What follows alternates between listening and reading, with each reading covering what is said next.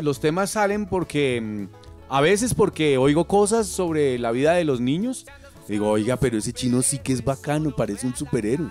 O porque escucho que los niños les encanta oír canciones sobre la naturaleza y porque además somos ecologistas y creemos en que hay que cuidar el medio ambiente y acabar con todo lo que daña el medio ambiente. Y otras veces salen canciones como porque está lloviendo y digo, oiga, nadie le escribe canciones para niños a la lluvia.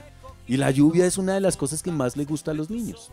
Entonces ahí salen como canciones que, que hablan de cosas distintas a lo que siempre hablan. Y siempre queremos hacer unas canciones que no sean tan, tan, tan sencillas como para que los niños digan, oiga, pero nos creen bobos.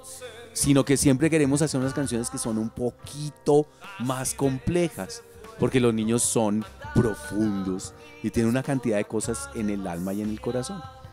Es que es lo más bonito de las canciones. Yo creo que con la, la cercanía que ha tenido Andrés y bueno, yo también, eh, con los niños en, en, nuestros trabajos que hemos tenido, es muy fácil estar en conexión con ellos, escucharlos, cuáles son los intereses, cuáles son las preguntas que tienen.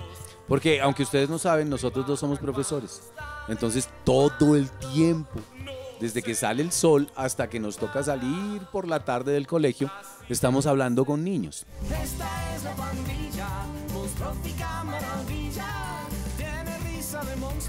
y por dentro el alma.